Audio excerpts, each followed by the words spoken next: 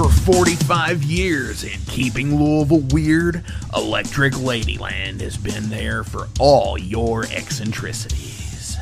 While they do offer the best smoking supplies out on the market today, there's a whole lot more to check out. From ashtrays and blacklight posters to records, incense, and burners, and items to stock your metaphysical supply. They're open from 10 to 10, seven days a week. Located at 2325 Bardstown Road in Louisville, Kentucky, and at electricladyland420.com. Roll out.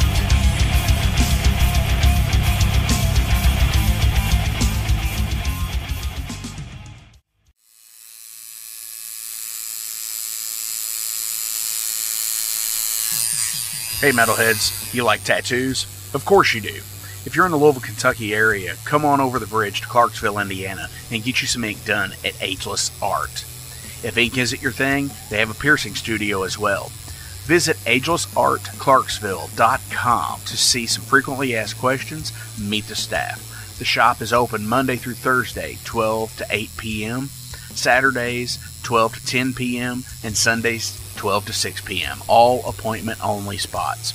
You can set up your appointments by phone at 812 283 1793 or email agelessarttattoo and piercing at gmail.com and someone will get you set up for your first or your next tattoo or piercing.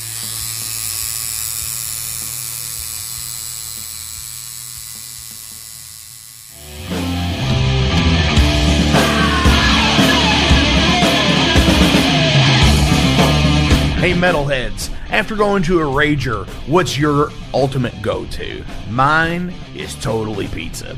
So when Overload is playing, or I'm promoting the Metal Forge live showcases, or the big goddamn metal show, I go to Pizza Donisi. Pizza Donisi is gourmet artisan pizza from right here in Louisville, Kentucky. It features things like the pizza of the month the sandwiches and also vegetarian and vegan options, which is so totally fucking cool for all all of it's it's awesome pizza. You definitely want to go. Hey, and also from time to time they do cannolis. Oh, so fucking good. You know what they said, man? Leave the gun, take the cannoli. Yeah, just like that in Godfather. They're located right next to the Mag Bar at 1396 South 2nd Street. So either stop in or call in at 502 213 0488. They're open till midnight. The witching hour. Heineken? Fuck that shit! Pabst Blue Ribbon!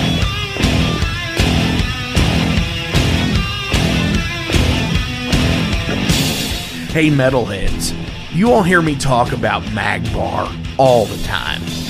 It is the home to the Metal Forge Live showcases and is an integral stop in the Ultimate Underground Metal Tour schedule. They obviously feature live music, but the Magbar also has daily specials like Pint and Slice Night on Tuesdays with Pizza Donisi. But they also do Bring Your Own Vinyl on Thursdays with DJ Kent Jackson and Finer Things Sundays. Located right next to Pizza Donisi at 1398 South 2nd Street, open 3 p.m. to 4 a.m. seven days a week. Get your asses out to the Mag Bar. Rock out. In a broken wasteland, I come to my fire and place your blood and steel upon my pyre. Oh, that is the metal forge.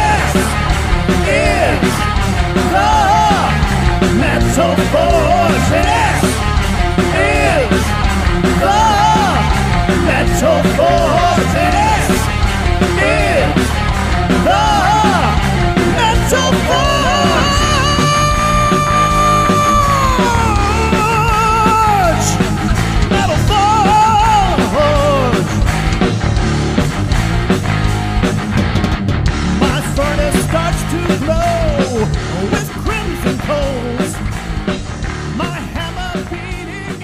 What's going on, Metalheads? Thank you all for tuning in to this week's episode of the Metal Forge. My name is Mark Jackson, and I am your host.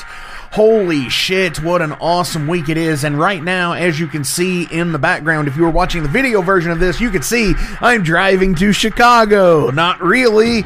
Uh, yeah, because we're pre recording this on like a Tuesday or Wednesday night. I can't remember my days anymore. It's a Tuesday. Uh, it was a Tuesday.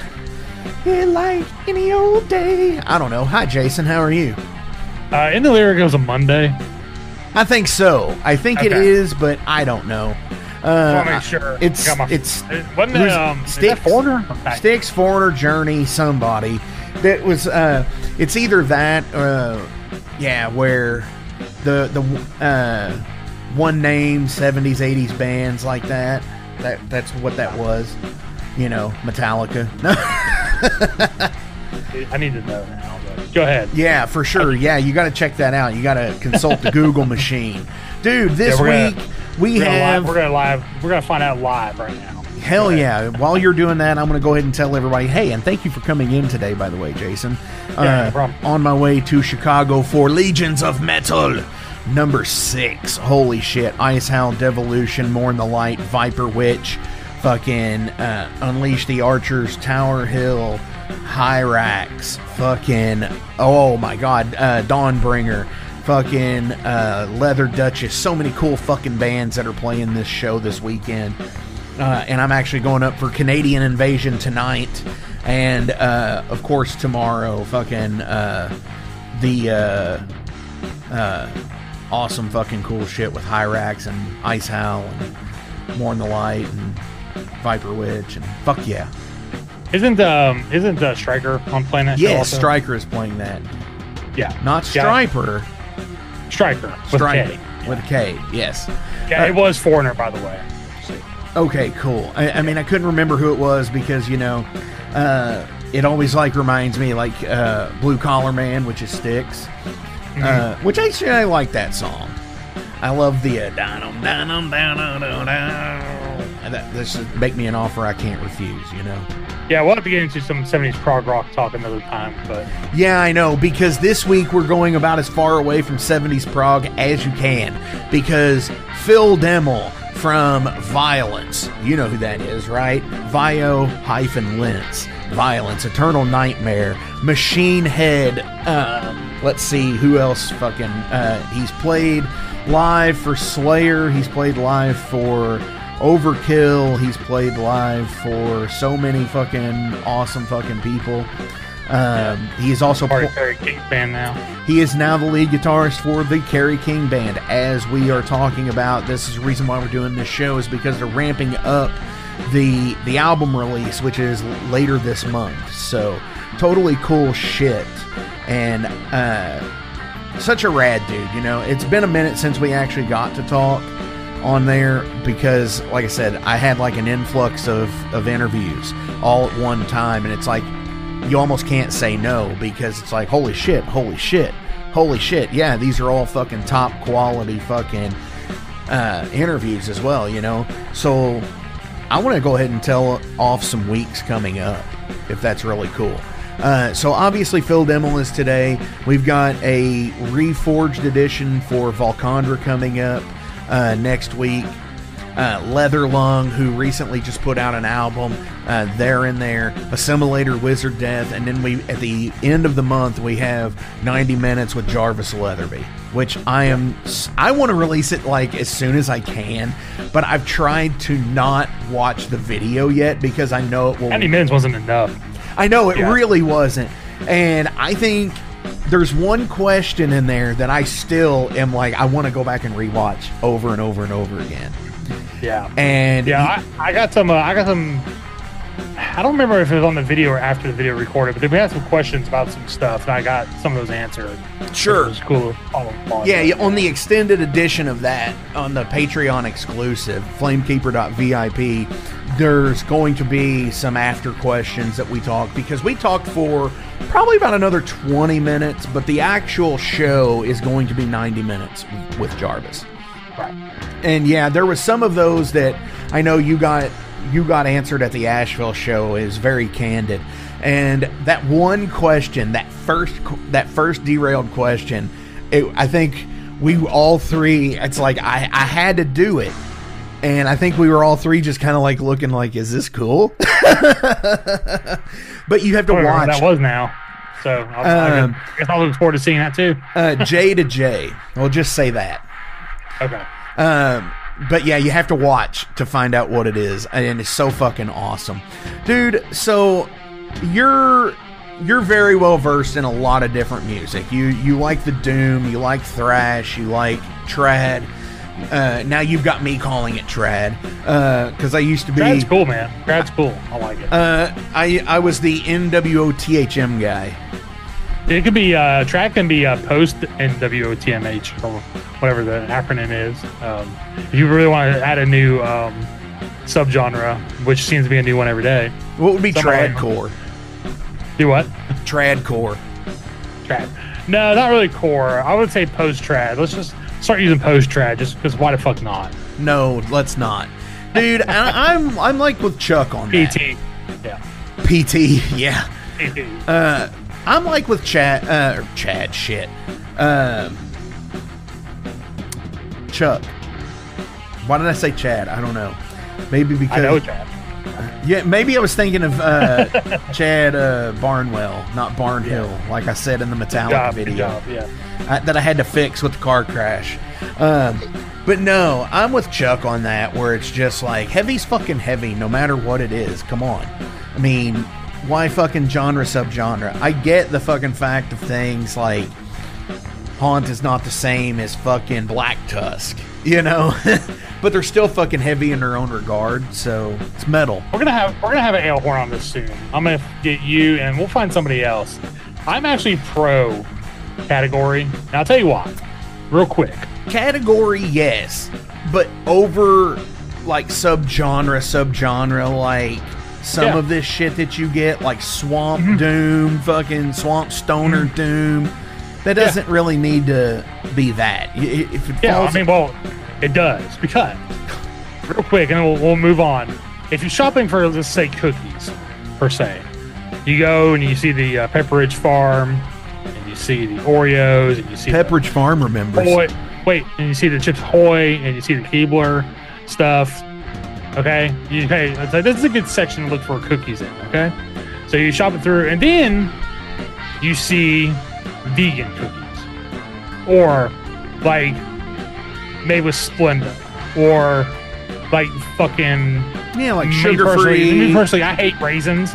So you see something with raisins in it. Music to me is like the same way. I'm looking for something heavy to listen to. I'm in this kind of mood.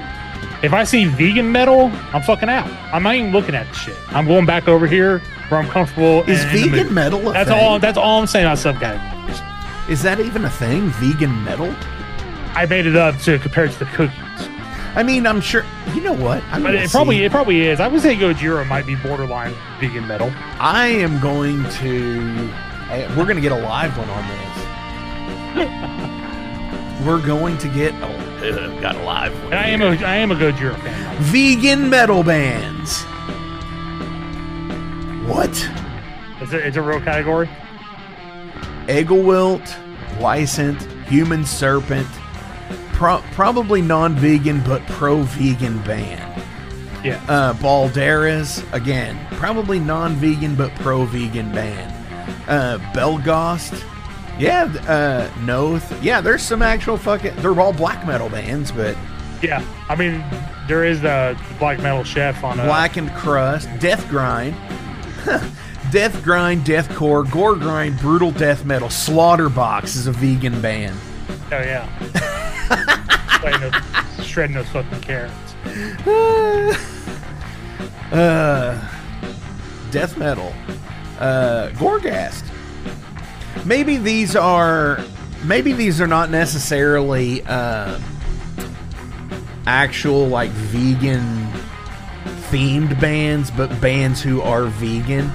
Dude, I'll be honest with you. There's a lot of I mean a lot of musicians who are actually vegan. It's probably it's probably easier to be vegan on the road, so you don't eat like something kind of gnarly from a gas station or something. You're kind of like you're kind of like know how your body can react to it. Where you know a lot of processed food, it's different and bad. Yeah, this is a uh, yeah. This is totally a uh, this is totally a list of people who are vegan. My bad. Yeah, yeah. Uh, because they list Lena Scissorhands on here, yeah. and she's in Infected Rain and not the band. Gotcha. Oh, my Well, bad. uh, you did ask me if I had a uh, topic for the uh, yeah, actually, monologue. and So, I do yeah, have one more I as actually well. Do, I actually do today. Um, so this is going to get into the debate of um, AI music, kind of, but I'm going to save that for my response. So I did the I did what I didn't want to do because I've heard so many people talking about it, and I listened to the new Motley Crue song. I haven't listened to it, Okay, it was produced by Bob Rock. of course. So Bob's like, back okay, in the I'll a- game, baby. yeah, I'll, I'll take a listen to it. So yeah, so Vince's vocals, yeah, totally fucking studio magic. Um, he doesn't sing much, and it's all like one syllable words, so it's kind of right in his wheelhouse. Anyway, the music fucking sucked. There was nothing interesting about it. But the only thing, I, the only thing is, I've seen now, it seems to be a new thing. People, if people don't like it or they think it sucks, now they're labeling it AI without even knowing. Now, I don't think Bob Rock would do an AI track per se because I think he's just kind of old school that way. Sure. Um, so let's just stop labeling shit that you don't like AI because I mean, honestly, it's a la- it's lazy. I mean, yeah, the song sucks. There was nothing redeeming in it for me. I think John Five's an awesome guitar player. This shit was like just not anything special. Even the solo was pretty pretty subpar. Um, so yeah, let's just let's just quit calling shit that you don't like AI just to make it demean it more. It's just a song that sucked. That's all there was to it. uh, To me, right. Uh, and you're talking about Dogs of War, right? whatever the fucking name is, yeah. Yeah. Unfortunately, I gotta look at the. The okay, so the video- video, the picture looks the like video it might be. I don't know, but the video the from the picture that I see on the fucking on the uh, dirt site, the fucking TMZ metal sites, um, yeah, ugh, they had to release this on my birthday too, didn't they? Ugh. happy birthday, Mark. Yeah. But yeah, fuck yeah, of all other fucking things that happened. um, that had to happen too, huh? All right, so Bob Rock produced. This is uh, first thing with them, I believe, since Doctor Feelgood. It looks like I could be wrong with that. Um, Neil describes Dogs of War as an old school meets new school. It's got that old school vibe, but it's got new music. Nikki came up with it, and he sent me the music, and I thought it was really cool, so I started si- singing it. Yeah, sure. Uh, we got in the studio and turned into a song. I think fans are really gonna like it. Mm, okay. I mean, Yeah, I'm like, what's that? dude, what can I say? People pay to see them. I mean, even though that stadium tour, they act like it was all because of Motley Crue. It was all because of Def Leppard. Let's just be honest. If Def Dude. Leppard wasn't on that, there wouldn't be a fucking stadium tour. Oh hell No. no, hell no. I mean, and like the It might be the same said for Motley Crue. I don't know. I think Def Leppard could probably do a stadium tour on their own without Def, without Motley Crue. But well, it all comes down to that. two names, you know. even with them, it still comes down to the same thing that we bitch about, like with Metallica. You know, about on that's on the live sh- setting of it. But I'm going to listen to this, even knowing it's. I'm not a Motley Crue fan. I've been outspoken about that. About, uh, I mean, there's stuff that I can respect that they've done. Like first few albums, I really like. First two albums, first two albums are solid. Yeah, the I first two to them are. but And yeah, I'm not gonna fucking be the guy that sits there and knocks Doctor Feelgood because it does have good songs on it. It's just you know it's Bob Rock. Yeah. I mean, I mean, let's put it this way. Let's put it this way about Motley Crue. Okay, on the uh, on the thumbnail on Netflix about the Dirt movie, they don't even show Motley Crue. It's the guy who plays Ozzy. yeah. Motley Crue is a self-manufactured, dangerous or notorious band. They're fucking lightweight, too. They don't do anything. They're all a bunch of fucking corporate fucking shills. That's all they were. That's all they were after after Shout at the Devil. That's all they turned into. There was nothing dangerous about them. Everything was fucking made up. Sure.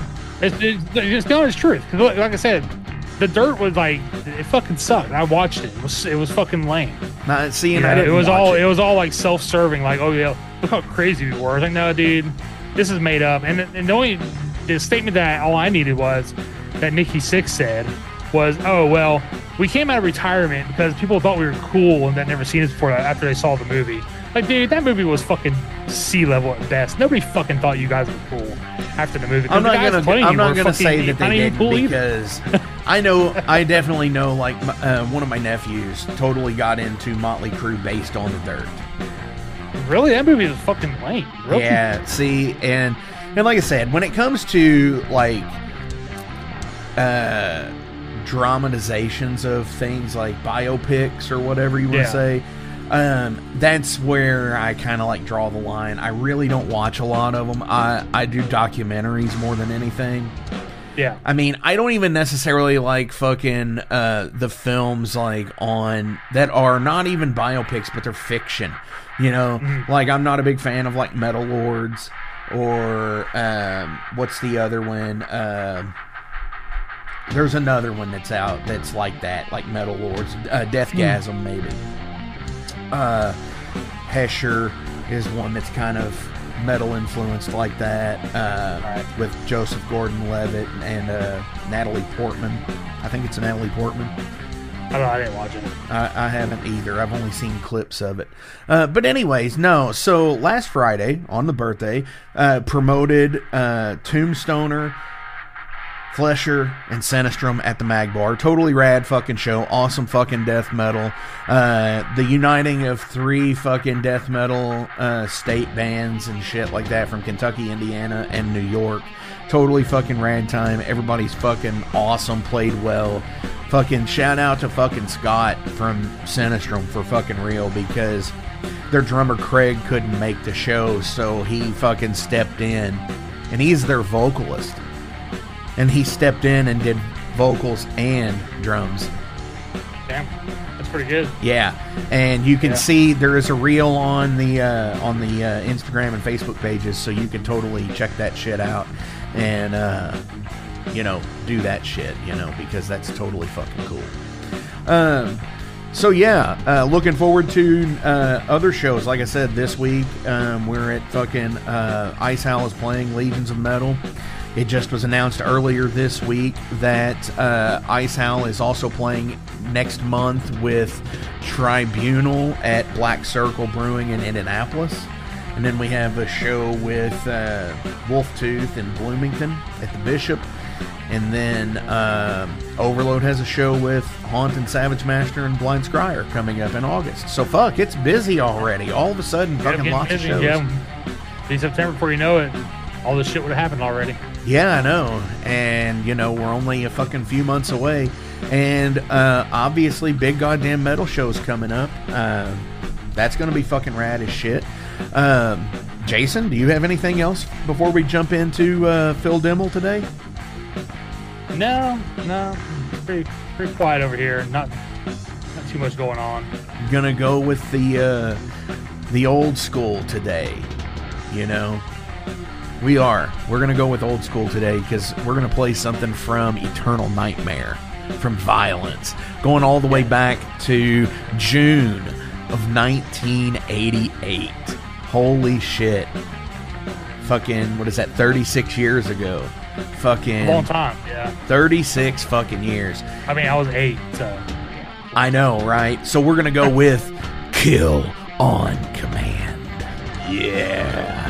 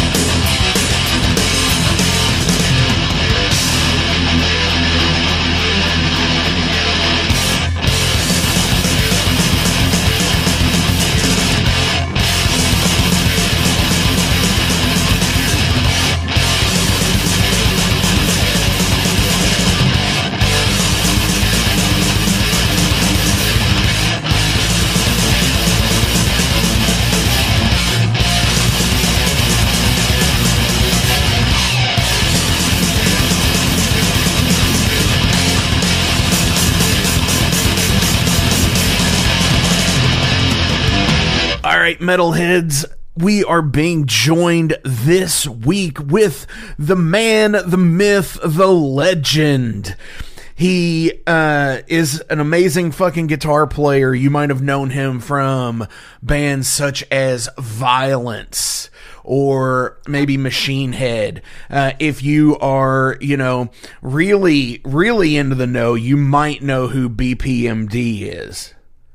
If you really know, because that's a kind of a new oh, venture. You've only got one album out with him. But his most recent edition is with the new Kerry King solo album. We are talking with Mr. Phil fucking Demmel, Demolition Man Phil fucking Demmel. Dude, how are you doing, man?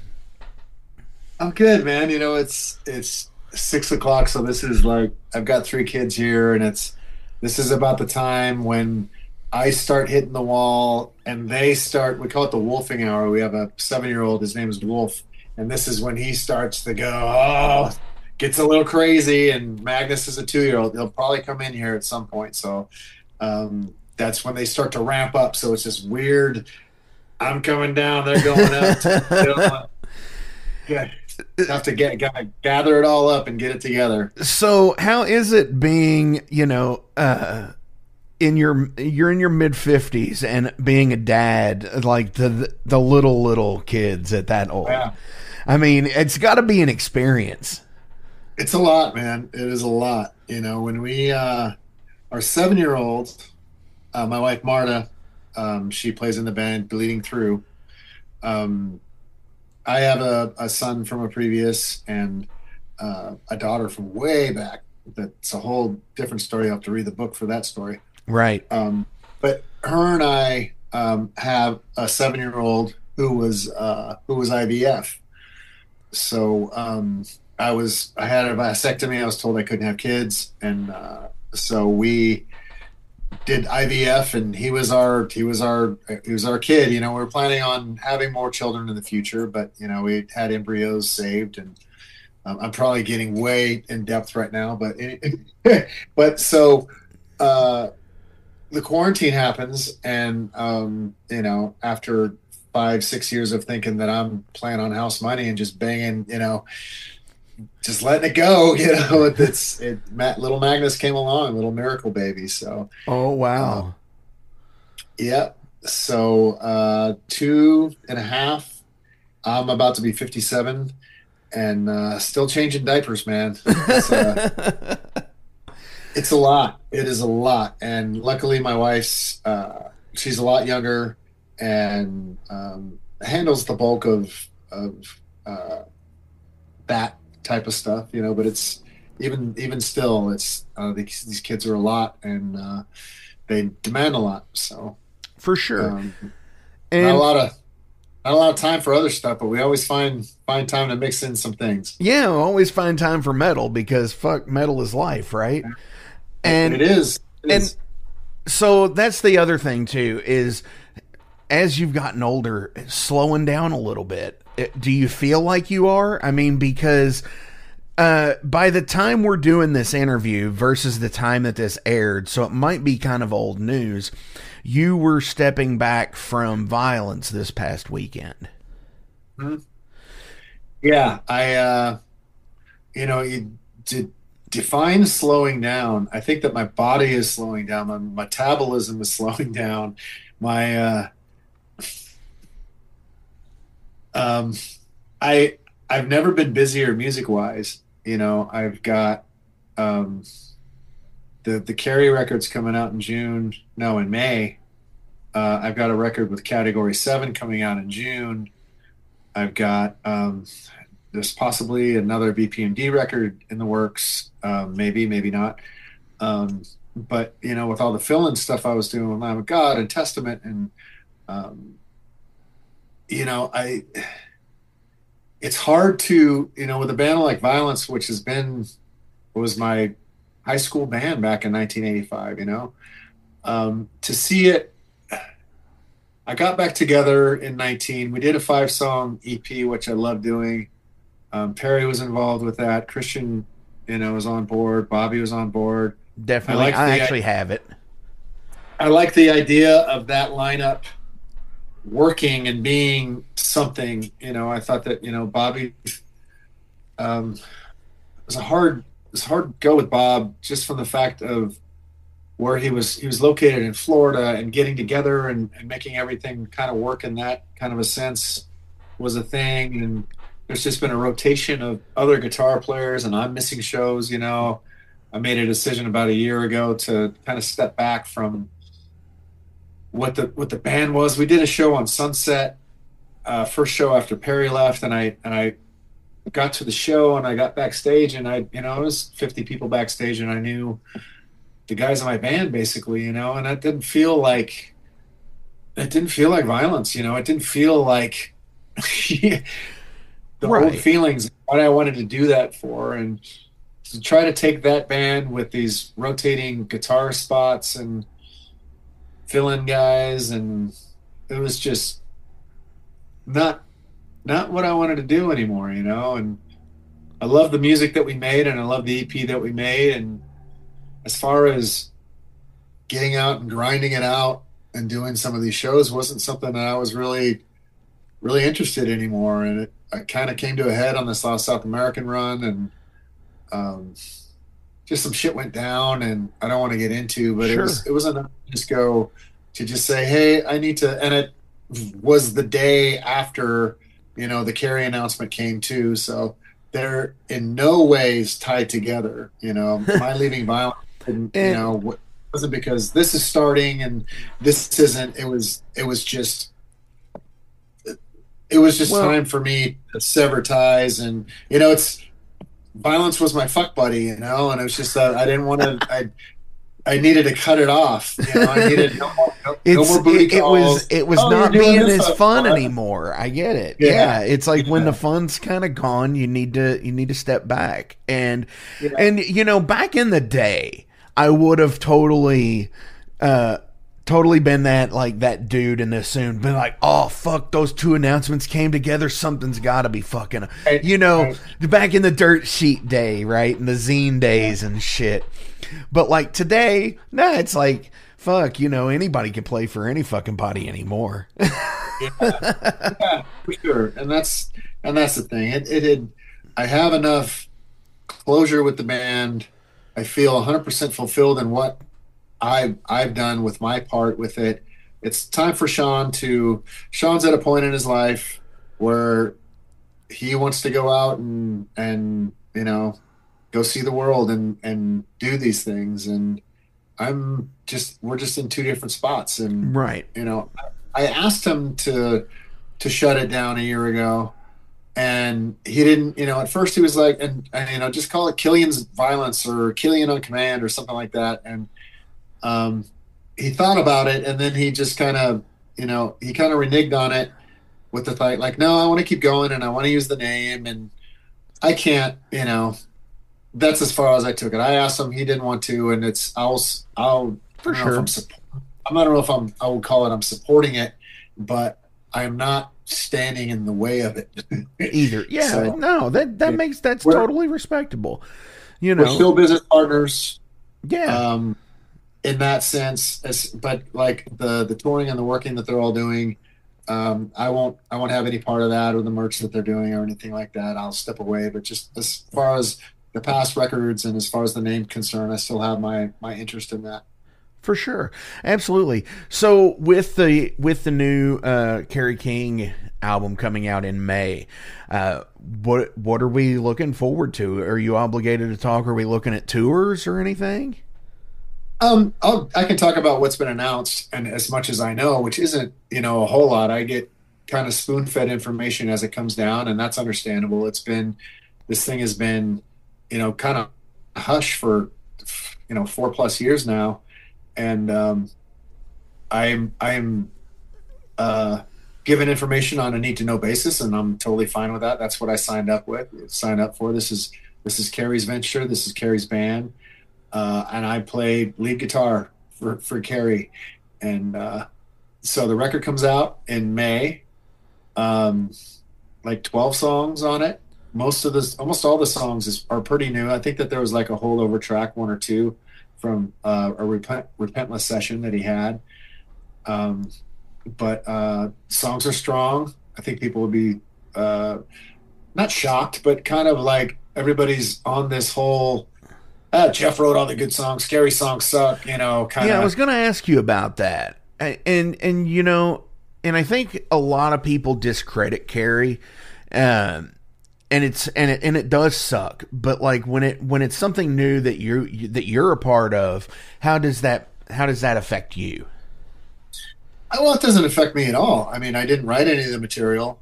Uh, um, I've of course want it to be accepted well. I like it, and I, you know, Kerry's my friend. I want him to his creation to be, you know, uh, met with agreeing terms or people that like it and people that will give it a chance instead of, you know, like I said, you know, Jeff, all the Jeff wrote all the good songs. Well, if you take away the songs that Kerry wrote too, and you have, you know, half a record or whatever, and they're not all filler songs that he wrote either. So Right. Kerry is more capable of writing iconic riffs. I played you some of the riffs he wrote, you go, oh my god, you know. So I think that this record is going to wake people up to that fact that um, that Kerry is he's been the guy the that's been you know making that band happen for the past shit I don't know twenty years or however long, and I, I equate it to not really on the same level, but there was a point when Gene Simmons was getting away from Kiss and acting and doing all this other shit, and meanwhile Paul is still back there, waving the flag, Right. doing you know doing all the work, and you know Kerry did a lot of work for that band. He played all the bass on the records, and towards the end, I think he wrote most of the lyrics, and uh, he on the demos that I heard, he's singing, and it sounds like Slayer. You know, it sounds like I mean Kerry was was Slayer towards the end there, so. Um, well, and that's the thing too is you know when it's when it turns into um, I don't know your quote air quotes here for the audio listeners. You know your project at that time that when you invest so much of yourself into it, yeah, I mean it's gonna it's gonna have that. I think. Absolutely. And the risks are different. I mean, I don't want to give too much away about the record, but I mean, it's a thrash record, but it's not just blazing fast.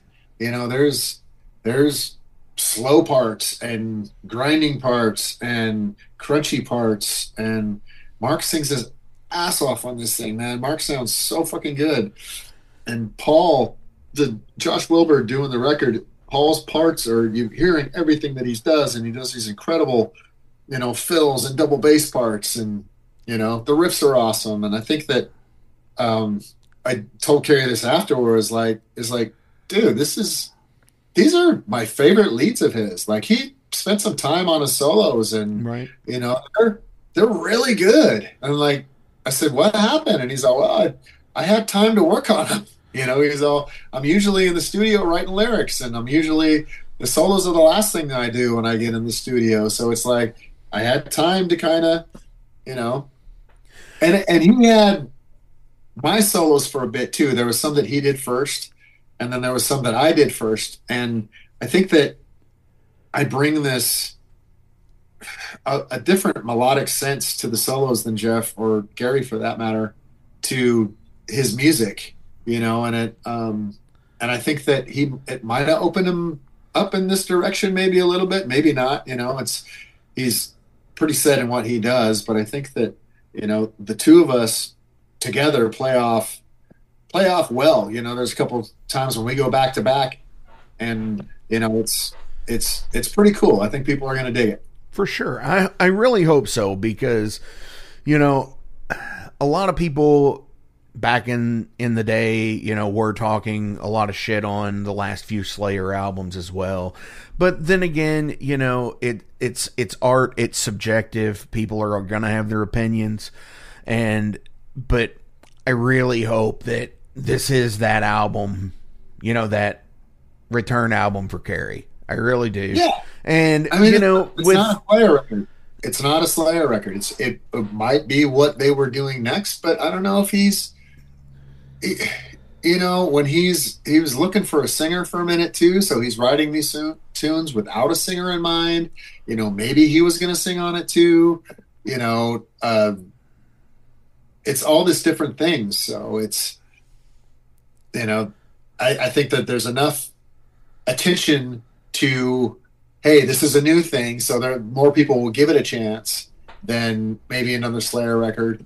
Um, but we'll find out. It's it's a new thing, you know. Kyle on Kyle on bass, and you know that he's got a different band. So I think people will be you know interested in, in hearing that. The first song popped up. Yeah, and that's the that's the cool thing is like here you've played with Slayer, you've played with Testament, Vio-Lence, uh, so many other uh, awesome thrash Oh my musicians. god, Overkill. Overkill, you know, fucking. Oh god. I, I mean, you, fucking so many different fucking bands over the years.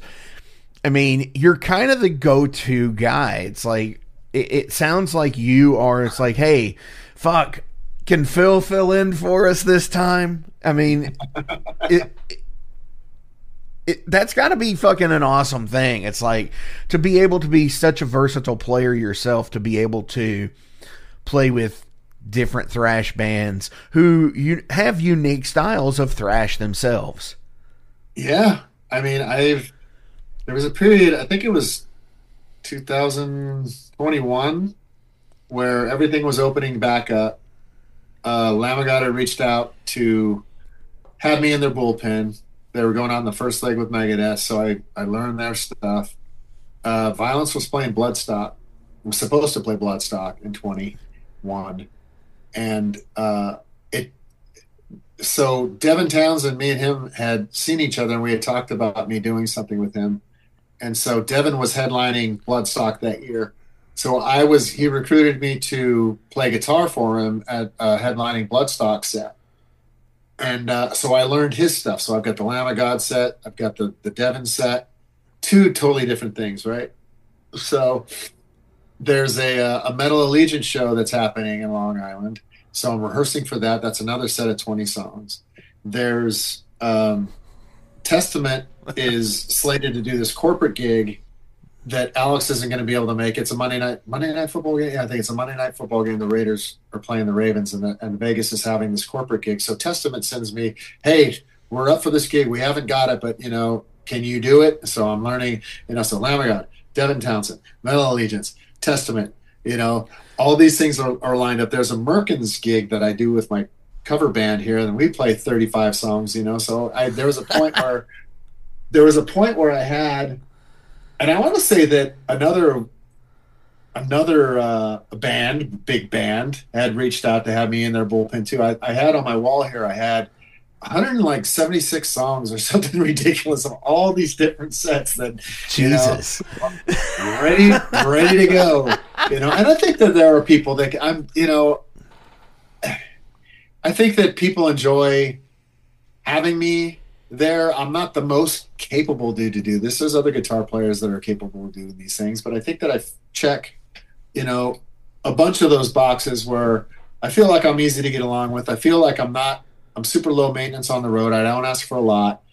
Um, so that's where where all that comes in. And i can retain some material. I can learn some stuff pretty quick. So i'm not the only guy but i'm, I'm really thankful that coming from a where i was in late 2018 of you know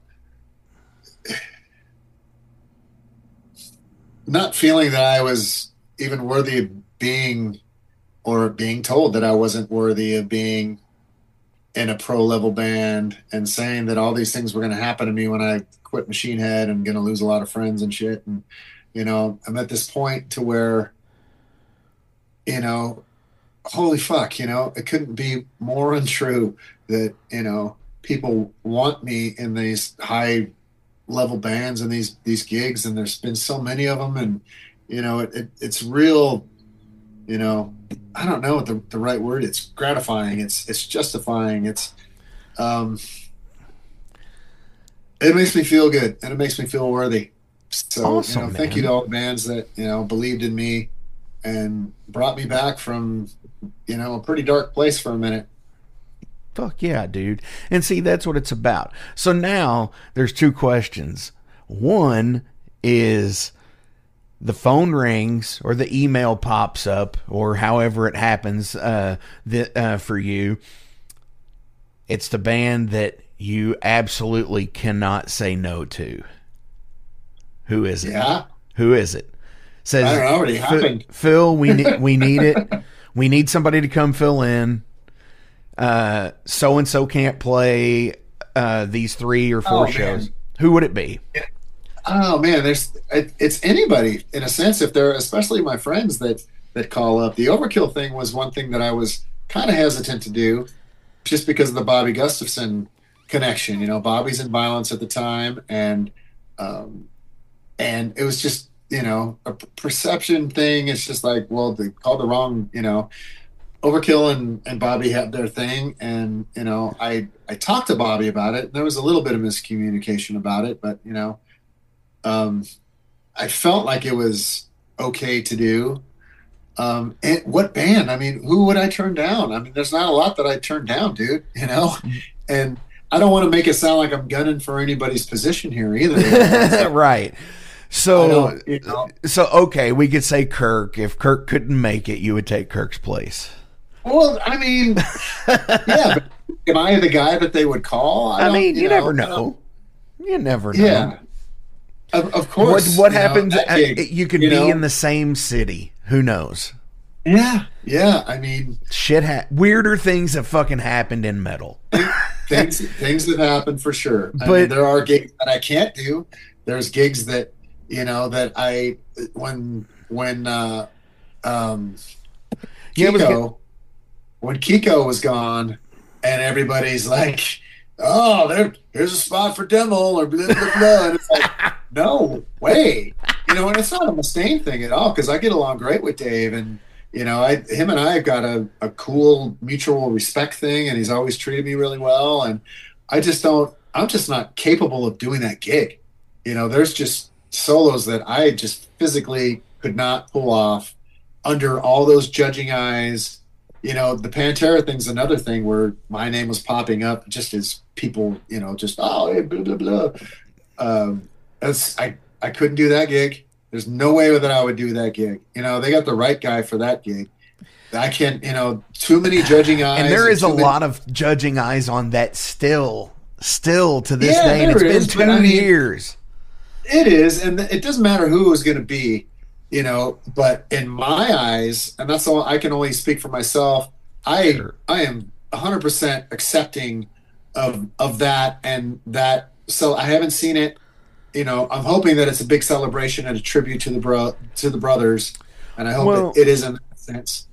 I think But that people have their opinions because they don't know the any inside. They're not in the inside circle.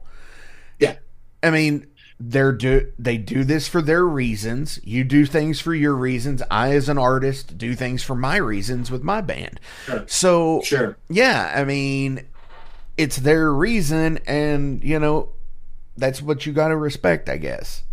Yeah, they're you know playing arenas, and you can't you know. And my you know I get asked who do I think could play this stuff, and there's there's three guys that I think would absolutely nail it playing it, and that's you know Ola, and it's Wes Hauch, and it's Reece Scruggs, who's now playing Machine Head, but he's from Havok, and those three guys they can play it, but does an arena full of Pantera fans want to watch that person play that though? Right. You know, or There's do the they want to see spectacle of Zakk. Yeah. the you know our reigning four of you know fucking guitar, which is Zakk Wylde, our you know our torchbearer for this generation. And in my eyes, you know that that's that's what I want to see. Well, and You know? and again, you know, Zakk has a look. Zakk is, you know, when you see Zakk, you know it's Zakk. It's the fucking. Yes. I mean, they put his silhouette on the fucking guitar because you knew who the fuck it was. Yes.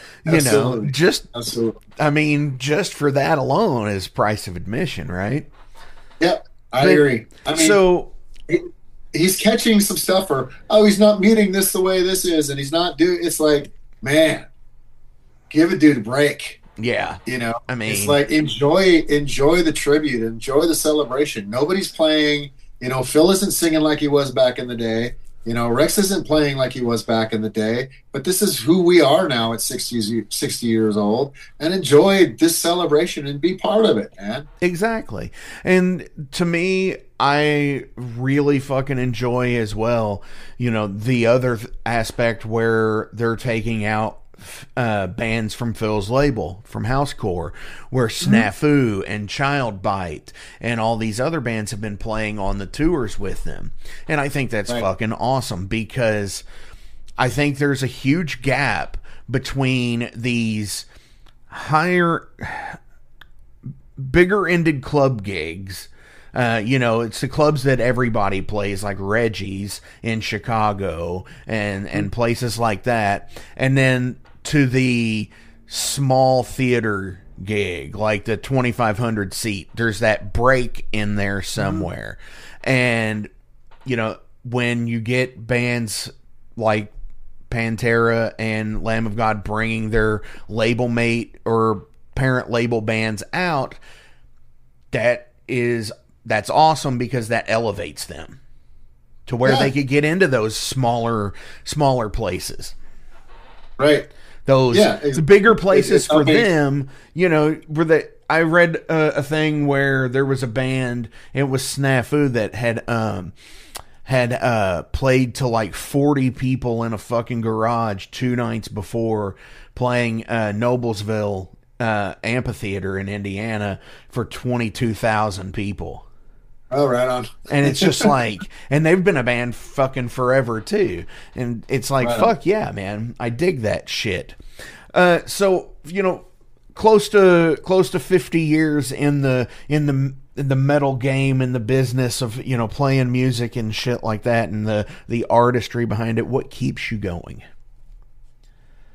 I think that you know every every new opportunity kind of kind of keeps me going in that sense. I mean, I did a bunch of these collab jams during the quarantine, and that was just you know recording all these cool cover songs that I that I enjoyed over the years, and and reaching out and playing with all these amazing musicians remotely and doing these videos and recording.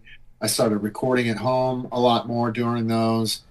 Um, I think that this uh, Category Seven record that's coming out in June uh, that I did with John Bush and um, and Mike Orlando and Jason Bittner and Jack Gibson is you know this incredible creative outlet in that sense and you know the Kerry the Kerry thing is is we're going to be playing amphitheaters and we're going to be playing you know all these places doing these Euro festivals and American festivals that I hadn't played in 10 years, you know.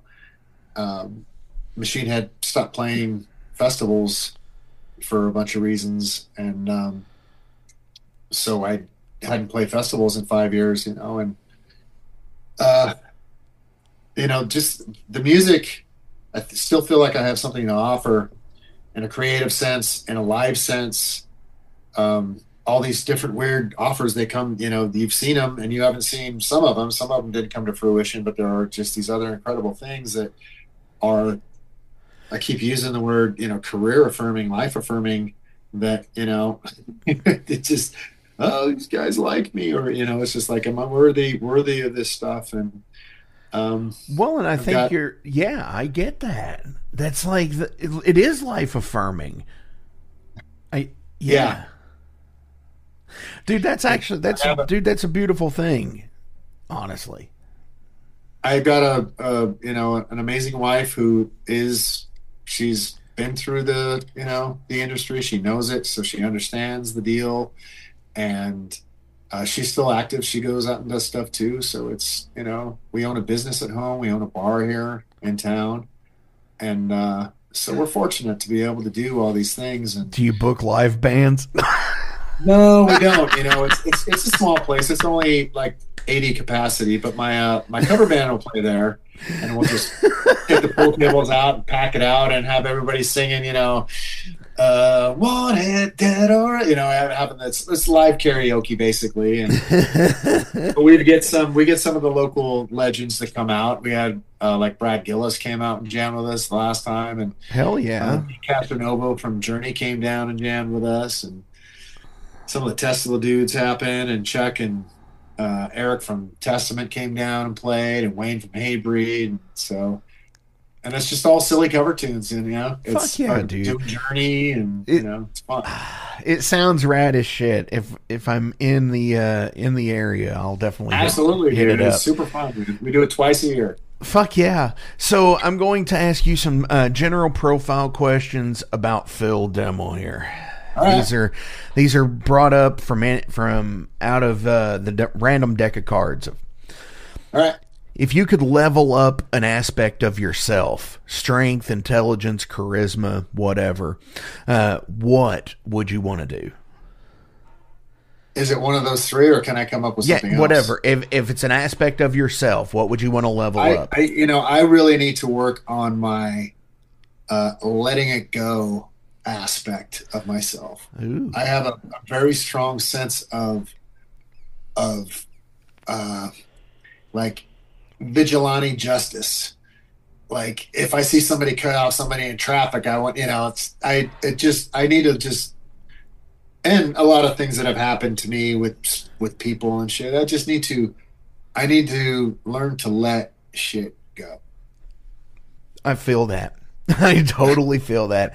Uh, I have the problem where I, uh, when people like are bitching at a situation, I feel like they're bitching at me, and I wear that shit, and I'm just like, fuck. Ah, so- if I see something, you know, something wrong that happened, I just have this strong sense of, you know, curing injustice and making shit right. for sure. And Uh, and I just need to I need to let go of I need to let go of some shit. So we'll leave it at that. absolutely, dude. I totally get that. Uh, what is a quote that inspires you, and why? Um, there was a quote that my dad had on his desk at work. It was from Eleanor Roosevelt, and it and it's no one can make you feel inferior without you giving your consent. So basically, nobody can make you feel like shit unless you let them. So their words are nothing unless you give them the energy to be something. Boom. And Wow. Eleanor Roosevelt, man, she's got a bunch of winners. Fuck Smart lady. Yeah, dude. Whew. That is awesome. That's a good one, right? That is that is fucking wow. That should have been the last question. Um, what is one thing that does not add value to your life, but you still do it? Oh, what's one thing that doesn't add value to you know probably what probably drinking Coca Cola, drinking soda. That's, not, that's not adding any value, but I still do it. There you go, drinking soda. For sure, I totally get that.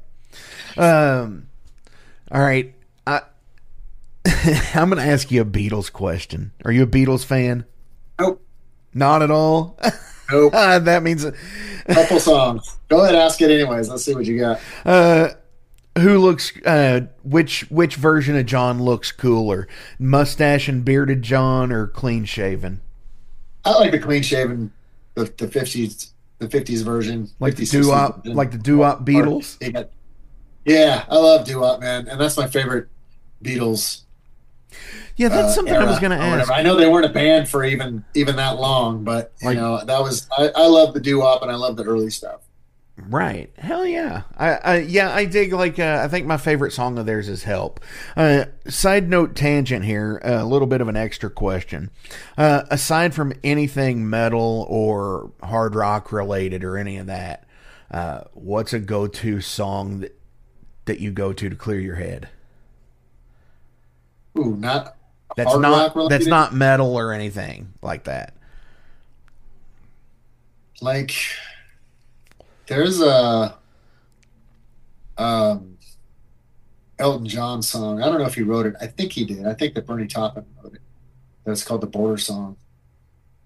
Uh, Sure. Oh, yeah, Moses, I have been deceived. You know, so probably the Border song by by Elton John. Fuck yeah. Dude, that's awesome. Hell yeah. Uh, Phil, I have one last fucking question. But before we get to it, uh, as always, links are listed below. So give likes, shares, follows. If you don't already, you should. Uh, if you don't already, where the fuck have you been? Uh, um, do you have any shout outs or uh, anything else you want to promote today? Oh, you know, what is today? What is happening? No, you know, the Kerry Record's out in uh, May, I think the 17th, 15th or 17th, right around there. And um, we have some shows coming up. There's a tour happening with Lamb of God and Mastodon and Kerry King Band, and I think Malevolence is opening in the States. So hitting a bunch of the, I think it's kind of a C market tour, um, but playing a bunch of sheds. And so looking forward to that tour, doing uh, Welcome to Rockville, and we're doing uh, Sonic Temple in Columbus, Ohio, too. So those will be the first two shows we do in the middle of May. So pick up that, pick up the Kerry King release coming out in May. Hell yeah, man. Absolutely. Uh, so, final question of the day is Do you know the meaning of life? No, I don't know the meaning of life. I know, I mean, my creed, if you will, is, you know, politics and religion and everything else aside, just be good to each other, man. Be fucking good to each other and and be honest. You know, let there be good intentions. There you go. Fuck yeah, dude. Absolutely. I couldn't agree more.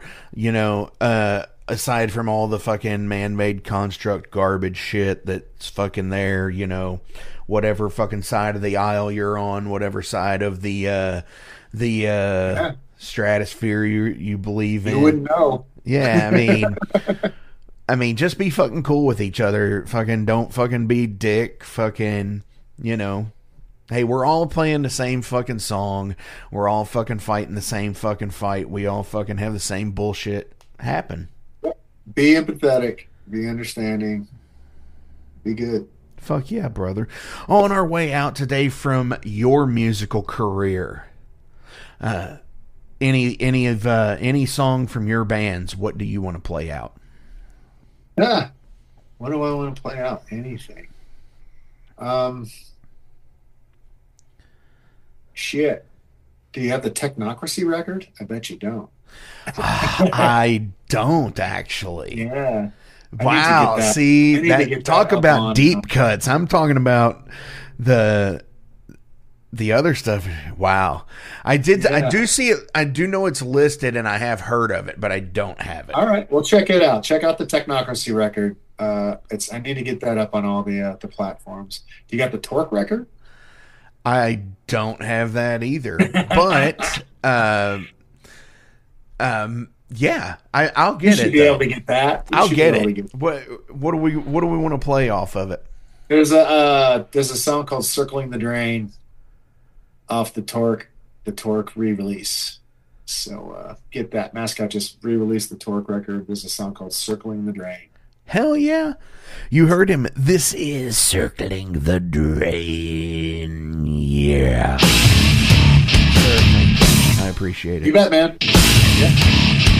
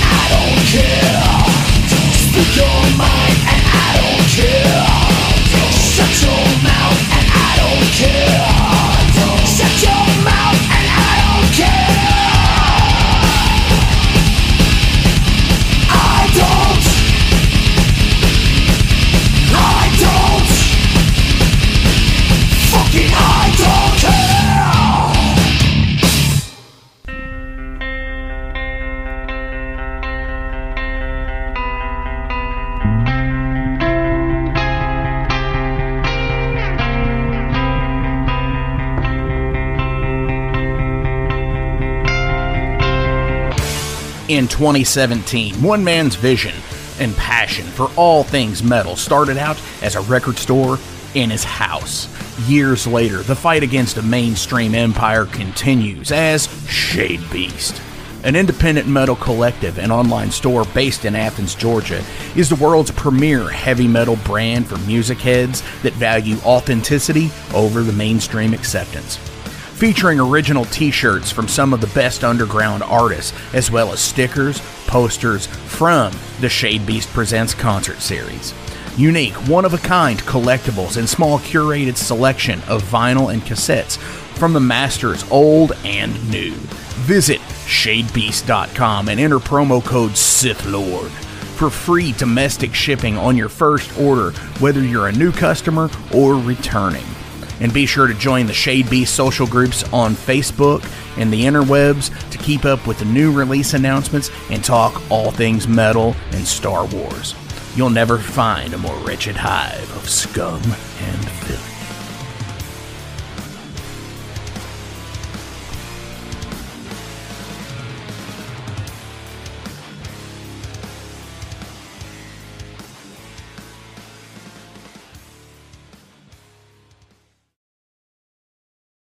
Welcome to the night.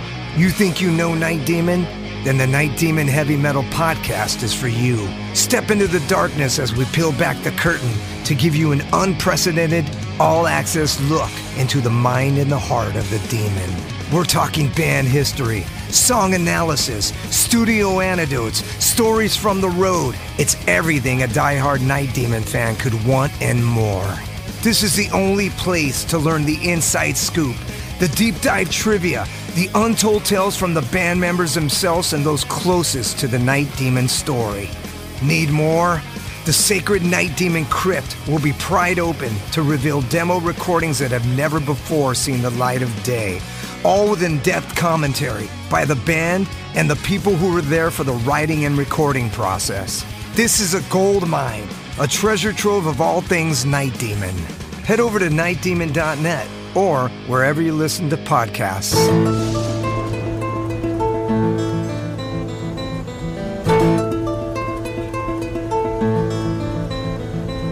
Since 2013, there has been a calling from the underground, from the graves of all those unholy, and they decided to make a zine to talk about all of this.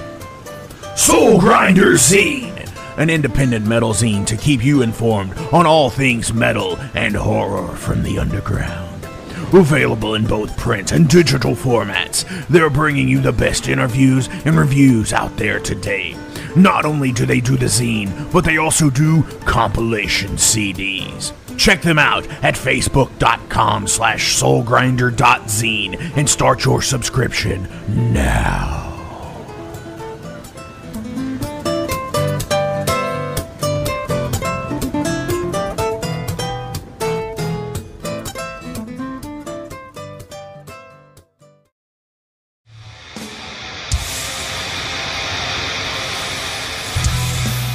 Everybody, let me tell you about the new sponsor to the Metal Forge, Unchained Tapes. They're an independent Pennsylvania tape label. They focus on extreme metal and punk with a killer approach to the tape scene.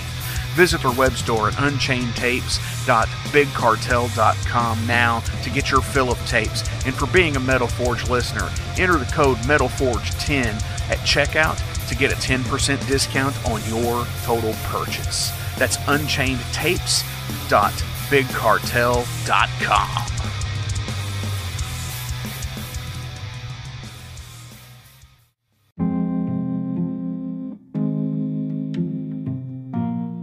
What's up, Metal Forge fans? This is Alan Bishop, the alchemist of Indiana's Black Forest and head distiller at Spirits of French Lick. Do you find yourself drawn to the unexplained, fascinated by the Fortean, or enchanted by the paranormal? If the things that go bump in the night resonate in your mind, then tune into my brand new podcast, If You Have Ghosts, You Have Everything. Featuring first-hand accounts, collected stories, interviews, history, and speculation related to all things not of this world. Available now on Anchor, Spotify, Google, Amazon, and more. Set back, relax, and remember if you have ghosts, you have everything.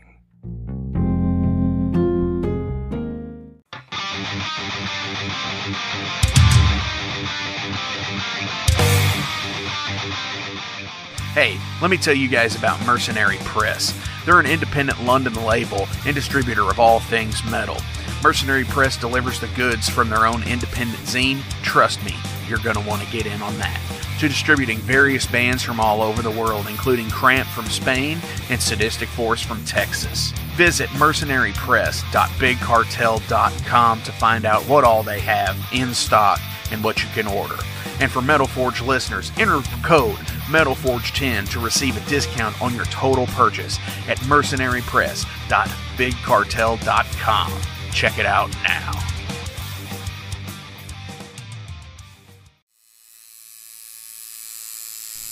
Hey, metalheads, it's with great pleasure I get to tell you guys about a new sponsor to the Metal Forge Ageless Art New Albany. After 20 years of owning and operating Ageless Art in Clarksville, Indiana, Phil Garrett had a vision for a new type of tattoo studio. Something that is clean and modern, sleek, refined, inviting. And he's done just that with Ageless Art in New Albany. You can find it at 2736 Charlestown Road, New Albany, Indiana 47150. Business hours are Monday through Saturday, 11 a.m. to 7 p.m. Sundays are 12 to 6. All sessions are appointment only, so give them a call and go get you some new ink. Or if it's your first time, go get your first one, baby.